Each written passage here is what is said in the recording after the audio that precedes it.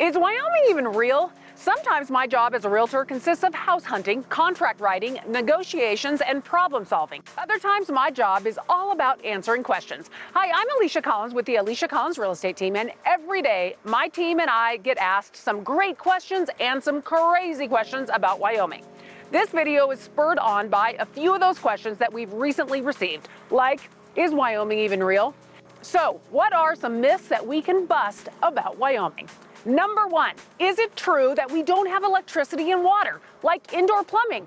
Now, of course, there are some areas that don't have these amenities, such as some vacant plots of land, some mountain cabins, or other areas that are considered more off grid. However, most of the state is fully equipped with both electrical and plumbing.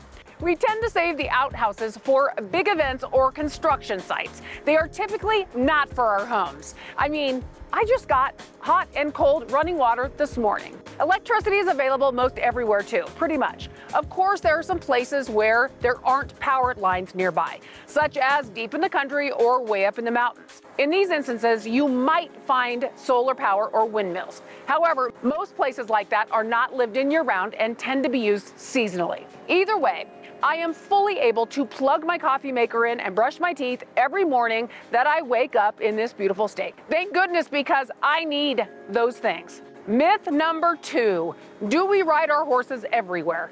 You know, I would love it if this one were true, but I'm busy enough that the time I have available in my life does not allow that. You may be surprised to hear Wyoming has cars and trucks and even motorcycles. You may even be more surprised to hear that there are people here, yes, here in Wyoming, that have never ridden a horse, ever. This still shocks me sometimes. Now, there are plenty of horses and opportunities here in the state for riding, but just like running, it isn't for everyone. Yes, even in Wyoming, in today's modern society, riding horses is more of a lifestyle than it is a means of transportation. Believe it or not, we actually load up our horses in a trailer and drive them to wherever we want to ride, sometimes hours away.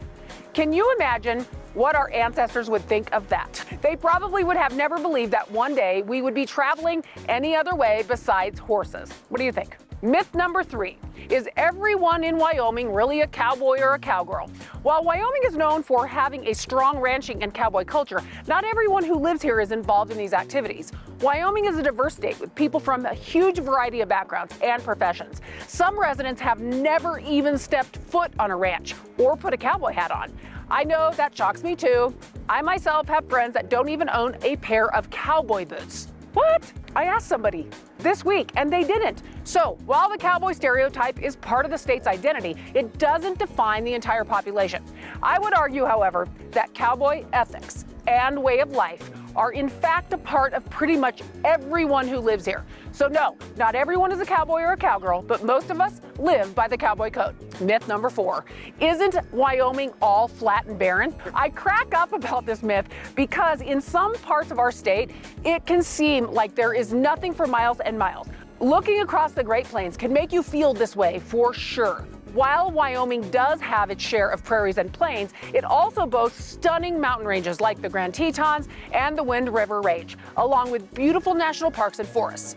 In fact, right here in Casper, for instance, we are just a few minutes away from our very own Casper Mountain where we can hike, ski, camp, and do all the mountain things. There are even bears up there. Wyoming is such a picturesque place, and the mountains are certainly a part of the beauty of the state. Myth number five Wyoming is part of the Midwest, right?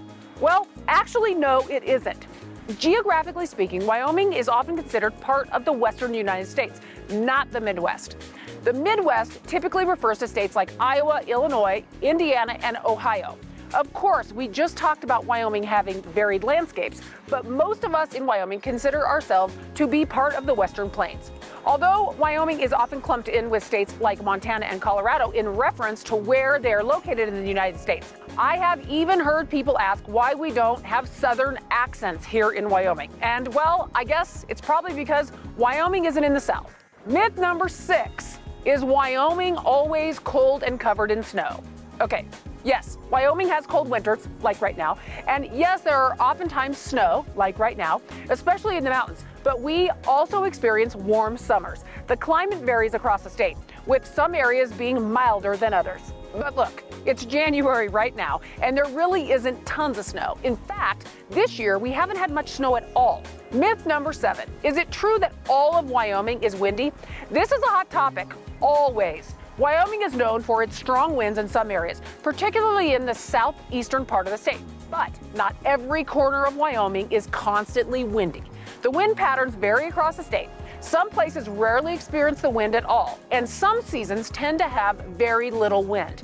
The winter is probably the windiest here in the state, but the summers are most pleasant and calm. Lacking the huge gusts that make us famous, of course, some areas are very windy. If you ever talk to a semi truck driver, I am certain they would have some crazy stories to tell you about driving through Wyoming on the interstate on those windy days. Myth number eight I've heard there's nothing to do in Wyoming. Is this true?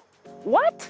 This one gets me because I've lived in Wyoming almost all my life, and I can't remember the last time I was bored. Wyoming offers a wide range of outdoor activities, including hiking, skiing, snowmobiling, hunting, fishing, and wildlife viewing. It also is home to several cultural attractions, museums, and historic sites.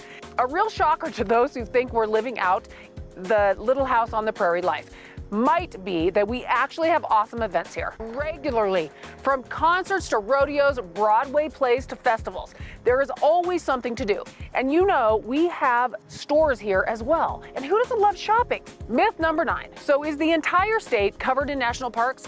While Wyoming is home to some incredible national parks like Yellowstone and Grand Tetons, these parks only cover a portion of the state. Wyoming is home to the very first national park, Yellowstone National Park, which is super cool. Wyoming is home to many firsts, actually. First state park, first woman governor, first state to allow women to vote. Oops, I digress. Anyway, off topic, down a rabbit hole. Much of Wyoming consists of privately owned land or land that is part of other public lands like national forests and BLM land. Although it's worth mentioning, while we are talking about national parks and especially Yellowstone National Park, Yellowstone National Park is not a petting zoo.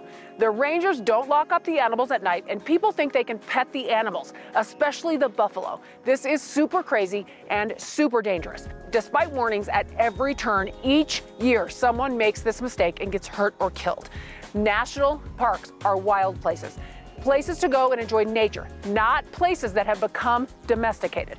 The animals that live there are most certainly wild. Another fact that I find interesting is that a huge portion of Wyoming's population hasn't even been to Yellowstone National Park. And number 10, the final myth on this list Wyoming is kind of a lawless frontier, right? While Wyoming has a rich history rooted in the Old West, it's a modern state with laws, governances, and a legal system like any other U.S. state. It's not a wild and lawless frontier as portrayed in some of the movies and stories.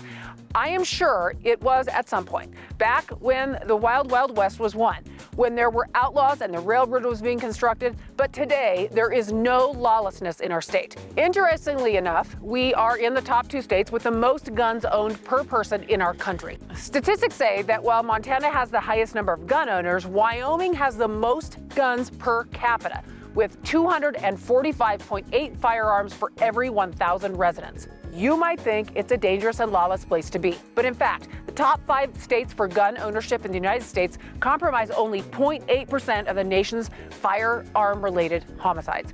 If you are looking for some wild, wild west, there are certain areas in the state that do some reenactments of gunslingers and bank robberies, but as far as lawlessness and wild, wild west, that's the best you're going to get. It is true that we get asked some of these questions. There's a lot of crazy misconceptions about Wyoming. But listen, Wyoming offers a unique and appealing lifestyle.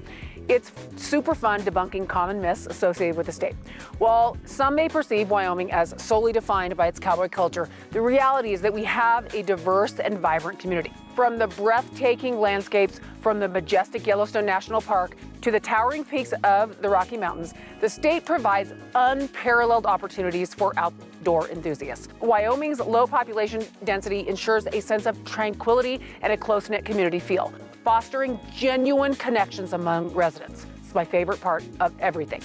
The state also enjoys a relatively low cost of living and no state income tax, making it financially attractive. Beyond the misconceptions, Wyoming's blend of natural beauty, community spirit, and economic advantages make it a compelling choice for those seeking a high quality of life. And yes, we do have cars. Comment below and let me know what your favorite myths are about Wyoming. And did I bust a myth that you actually had? Of course, these aren't all the myths out there, but these are some of my favorite. It's always fun to hear how people view my favorite state of Wyoming. Don't forget to like and subscribe and send me those myths.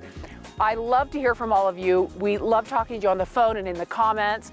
We have time for you. My team and I would love to help you find a home in the Casper area. We do service the surrounding areas as well. And if we don't service that area, we would love to find you the perfect agent. As always, I want you to love where you live. See you soon.